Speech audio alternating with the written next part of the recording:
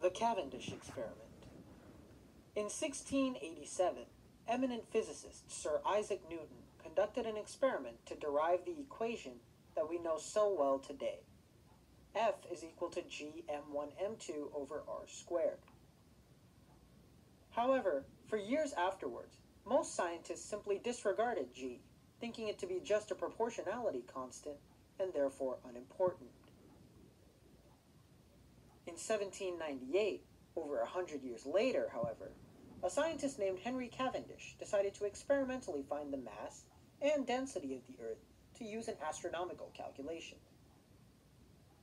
During this process, he also calculated the value of g, coming within 1% of modern day accuracy. In today's episode, the physics boys will endeavor to recreate Cavendish's experiment using everyday materials. The experiment. Cavendish's experiment works on the principle of gravitational attraction between objects. For our experiment, we suspended a torsion bar from the ceiling of Santiago's garage and attached two small fishing weights to either end of the bar. Then, we let it settle and attain a state of rest, which takes a lot longer than you think it does. And finally, once it had attained rest, we brought the buckets filled with sand and some weights to either end of the bar. As the bar oscillated back and forth, we took our measurements and used them to calculate our gravitational constant. Here are our final measurements. The length of the bar, or L, is equal to 0.92 meters. Theta, or the angle the torsion bar moves from rest to a state of equilibrium, is equal to 0.15708 radians. The distance between the two disproportionate masses, r, is equal to 0.13 meters. The oscillation time period, t, is equal to 21 minutes, or 1,260 seconds. And the mass of the buckets, m1, is equal to 43.0913 kilograms.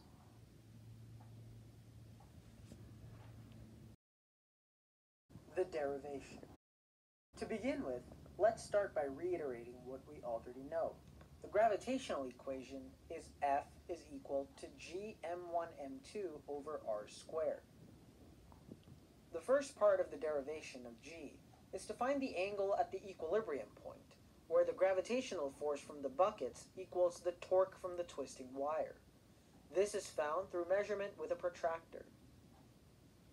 Next, we find the force-torque relationship. This is defined by the formula tau is equal to FL, where tau is the torque, F is the gravitational force, and L is the total length of the bar. Another important factor to consider is the relationship between torque and resistance. A twisted wire will result tau t is equal to kappa theta, where tau t is the torque of a twisted wire, kappa is the torsion coefficient, and theta is the angle the torsion bar moves from rest to equilibrium.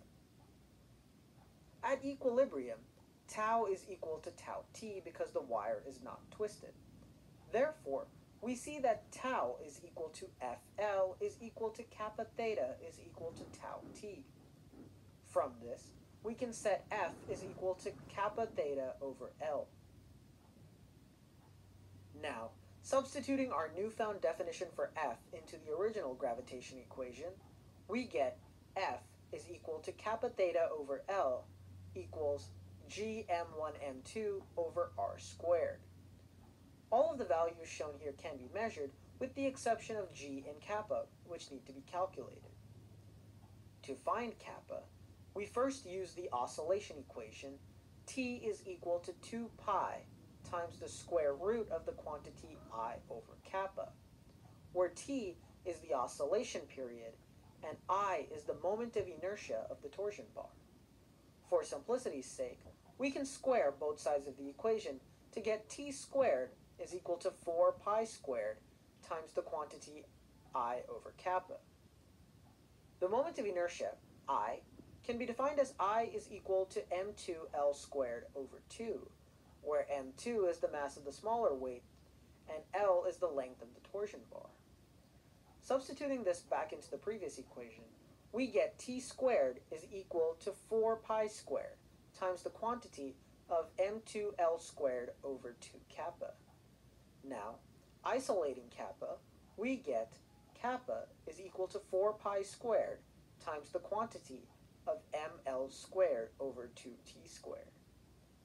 And finally, plugging this value of kappa into our redefined gravitation equation, we get 4 pi m2l squared theta over 2t squared l is equal to g m1 m2 over r squared.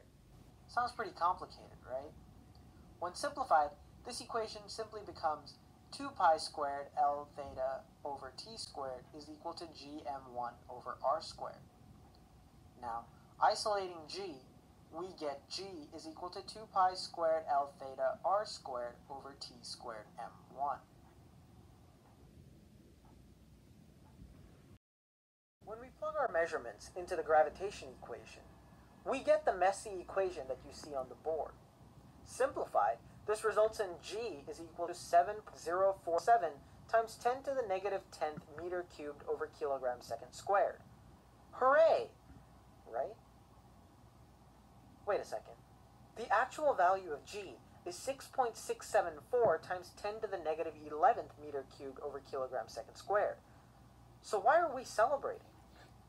Well, when compared to Cavendish's original setup, ours was subject to various factors that are uncontrollable without access to the resources he had. As you can see in the video, the fishing weights are oscillating around the point of equilibrium. It took us many, many trials to get the experiment to work correctly, and what you see is just a small portion of what was an hours-long experiment. We had to deal with factors such as air currents, whereas Cavendish just housed his entire apparatus inside a vacuum-sealed box to mitigate the problem. We had to use a protractor to calculate our theta, whereas modern-day scientists simply use lasers with pinpoint accuracy. Science on a budget can only achieve so much, but let's spell out our result for you.